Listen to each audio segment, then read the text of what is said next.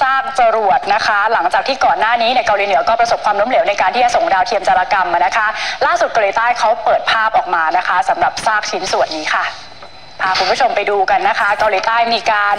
เปิดภาพออกมานะคะ เป็นการเปิดภาพจากคณะเสนาธิการทหารร่วมกองทัพเกาหลีใต้หรือว่า JCS ค่ะ เป็นซากจรวด ส่งดาวเทียมเกาหลีเหนือชิ้นล่าสุดนะคะโดยซากดังกล่าวมีขนาดใหญ่ค่ะ แล้วก็เป็นส่วนหนึ่งของจรวดส่งดาวเทียมเกาหลีเหนือที่ประสบความล้มเหลวเมื่อเดือนพฤษภาคมที่ผ่านมา ซึ่งซากล่าสุดนี้กองทัพเกาหลีใต้เพิ่งเก็บกู้ขึ้นมาได้ เมื่อค่ำของเมื่อวานนี้เลยนะคะ 15 มิถุนายน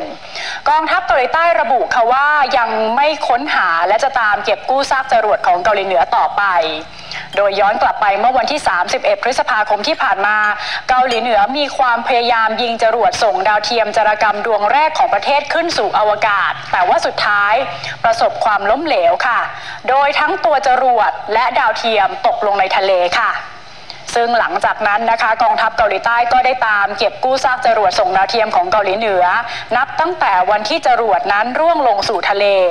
โดยปฏิบัติการค้นหาในบริเวณน่านน้ำนอกชายฝั่งด้านตะวันตกของเกาะโอชองโดของเกาหลีใต้ค่ะ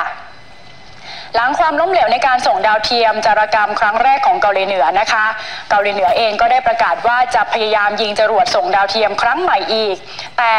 มาจนถึงปัจจุบันก็ยังไม่มีการยิงครั้งใหม่ค่ะ เมื่อวานนี้เกาหลีเหนือได้ยิงทดสอบขีปนาวุธเพิ่มเติมด้วยอีก 2 ลูกค่ะ